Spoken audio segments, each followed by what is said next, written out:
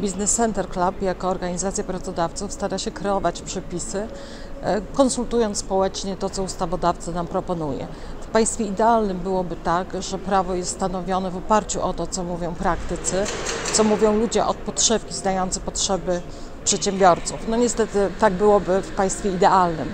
Nam pozostaje, e, oczywiście walcząc z szarą strefą, proponować uproszczenie prawa, proponować e, rozwiązania, które usuwają bariery w rozwoju przedsiębiorczości, no i organizować właśnie takie spotkania, które pozwalają wskazywać, jak implementować rozwiązania proponowane przez ustawodawcę.